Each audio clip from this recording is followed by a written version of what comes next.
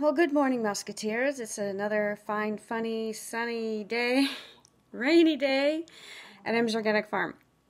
So we just got done doing some tilling. We couldn't amend. Well, we could have, but it was I was cold and wet, and I said, no, we can do it tomorrow. Because we have some planting that we have to do tomorrow. We're also expecting, cross your fingers, another load of uh, amendment, uh, which is the Organimix that we use. So uh, nothing broke down today.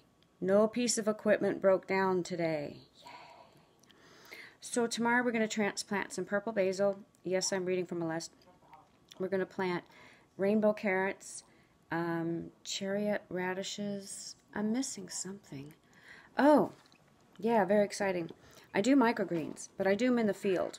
I don't have any idea why people go through all the trouble of doing them in flats and they produce very little and then they get mold on them and then they don't like the heat and you gotta step just plant them in the field.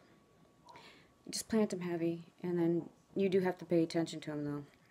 So planting those tomorrow and I, I forget arugula rads uh, lettuces maybe basil and um, I can't remember what else I have on the list there but those are going to be used for microgreens.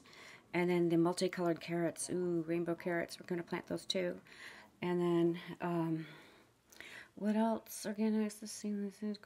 Oh, oh, you know what? That's all I have to say today. So, thanks, Musketeers. See you tomorrow.